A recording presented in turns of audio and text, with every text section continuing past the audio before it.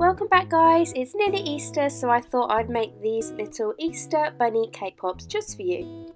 I've got some cake crumbled here and I've got some cream cheese icing, all the recipes and stuff is below and I'm going to put in a big dollop of cream cheese icing, mix it with a spoon, use my hands to get messy and then start to roll it into a ball. Then I'm going to take one piece of, uh, what's it called, cake mixture, can't even remember, and I'm going to shape it into the bottom half of the bunny and then I'm going to take another bit and roll and use a paintbrush to help mould the ears, that really really helped.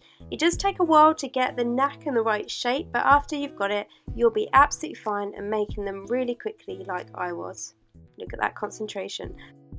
Next I have melted some pink candy melts and I always mix it with white chocolate as this makes it a lot more runnier and then I'm attaching or putting the stick through half of the bunny and then dipping the remaining stick that is poking out to attach the head and then I leave them for about half an hour to set or pop them in the freezer.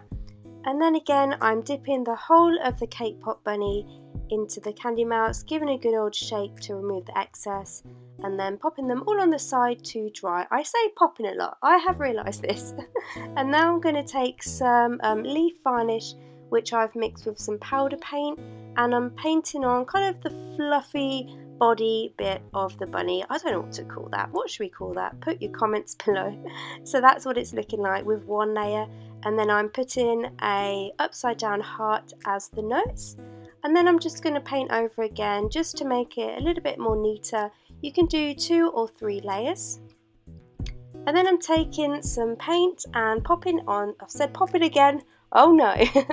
I'm drawing painting some eyes a nose and some whiskers.